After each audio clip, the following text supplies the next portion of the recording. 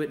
It felt a bit more refined than Vanguard, but not to the point of Modern Warfare 2019 where it was genuinely busted. For those that don't know and that aren't aware, slide canceling in Modern Warfare 2019 was genuinely a game bug. It wasn't ever meant to be a thing, and it reset your tac sprint in the process, and why it was the air quote meta. It allowed players to zoom around the maps. The overall fluidity, again, I felt like it was a mix, not necessarily of Vanguard in this case, but a mix of Modern Warfare 2019 and Modern Warfare 2. You can tell it's the new engine, and thus feels almost a bit cartoony like Modern Warfare 2, but it's not nearly as restrictive as Modern Warfare 2.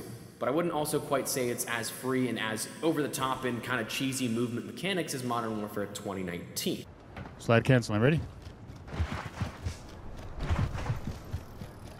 Takes a little more to do it over here.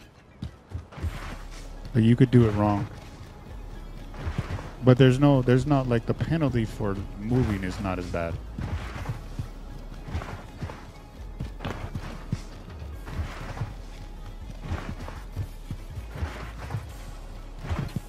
Yo, this is uh, Modern Warfare 2. Yeah, you can't cancel nothing. No, there's no canceling anything here, but at least it's back, right? At least it's back. So this is Modern Warfare 2 now. And uh, yeah, just run, slide, and then gotta wait for it to finish, and then that's it. And then you got it, you know? But uh, yeah, this is Modern Warfare 2. Uh, isn't it ironic that you have Modern Warfare 3 maps and Modern Warfare 2, Modern Warfare 2 maps and Modern Warfare 3? Isn't it ironic? Yeah, thought I'd bring that up. 80 FOV just like We've lost the lead. because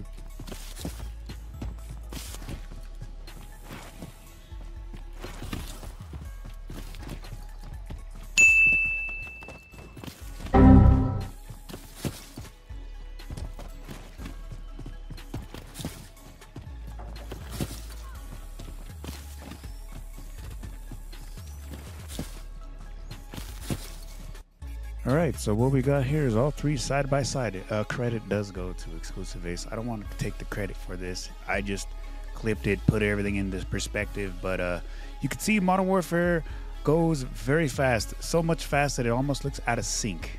Uh, Modern Warfare 2, Modern Warfare 3 are pretty much in sync. This is slide cancel, or slide with the cancel. Slide with the cancel. Of course, we don't have cancel in Modern Warfare 2, so it pretty much almost looks the same. But yeah, there you go all three all together, and then pretty much bam. So now you know what all three look like all together because I didn't see no other video made with all three. So I thought I'd slap it all together. So there you go, boys. Don't forget to the like button. I do appreciate it. And uh, yeah, till next time.